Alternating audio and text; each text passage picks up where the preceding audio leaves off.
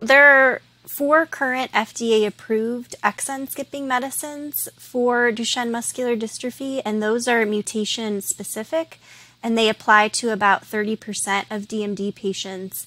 And while there's evidence that they slow disease progression and in general they have a favorable safety profile, overall their efficacy is limited um, and they are not effectively delivered to the muscle.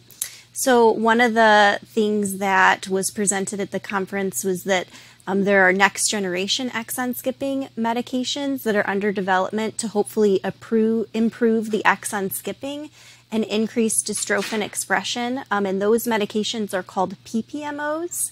And they entail the use of uh, an extra peptide, a cell penetrating peptide, to enhance the delivery of those therapies to the skeletal and cardiac tissue. And then the big talk of the conference was that there are AAV vector based gene transfer therapies in various stages of development for Duchenne. AAVs right now are the preferred uh, vector for gene transfer therapy because they're non pathogenic. Um, they have good tropism to the heart and skeletal muscle, which is where, where we want them to go in Duchenne.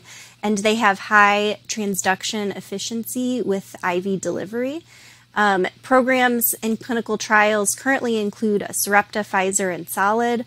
And uh, Sarepta's product in particular has an anticipated FDA response date by May 29th.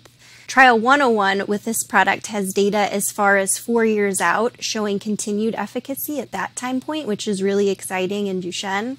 And then cohort one of the 103 trial, which was a cohort of four to seven year olds, showed a pretty significant increase from baseline in dystrophin expression, um, as well as uh, increase in baseline, uh, increase from baseline in percent dystrophin positive fibers. So overall, pretty exciting stuff coming in Duchenne.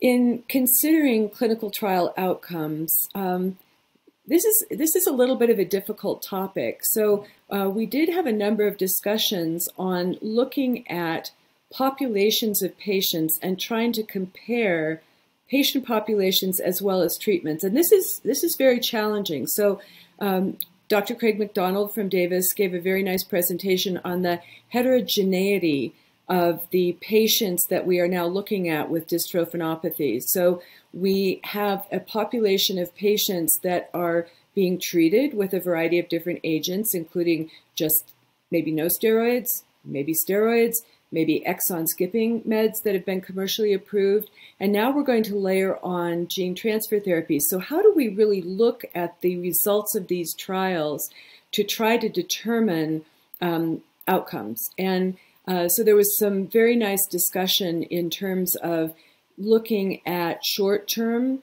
uh, trials and maybe using some statistical analyses like uh, propensity uh, changes to be able to look at outcomes that may be valid for short-term trials.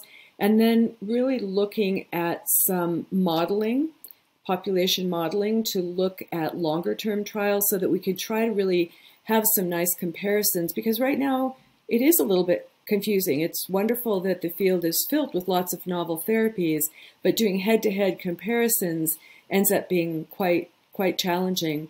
Uh, Linda Lowes, who's an amazing physical therapist who's done quite a bit in terms of looking at outcomes, um, really had very practical information, which was almost anybody can look at outcomes in their own population. And all you need to do is decide what is it that you want to look at, how are you going to look at it, collect the information, and put it on a flow sheet.